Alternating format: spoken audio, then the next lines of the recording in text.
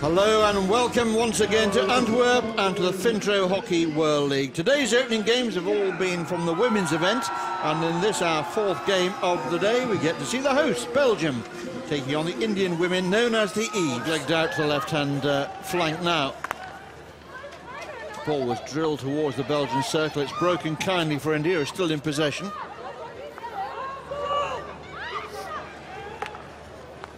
What's a clever ball the angle there was uh,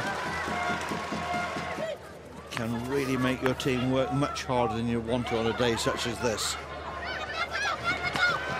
Was lovely work again, but the goalkeeper's gone down, and the support run up. The umpire's blown for a penalty corner here. Well, it's a Foba, in fact, to her right here. There's the trap. Good shot, goalkeeper's gone down, and there was a stick challenge on the defender there, and uh, umpire rules in favour of the defence, so bit of a run up to the push out.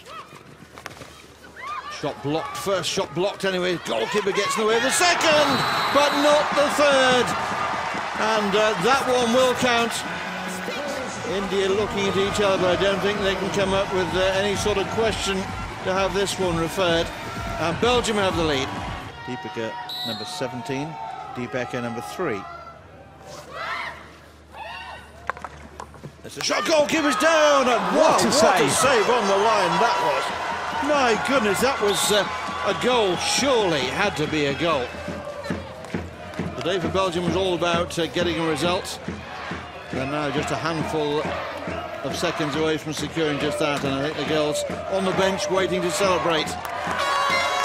Let the celebrations begin here in Antwerp. The host team have got their tournament underway in this Fintro Hockey World League semi-final. They have beaten India by one goal to nil.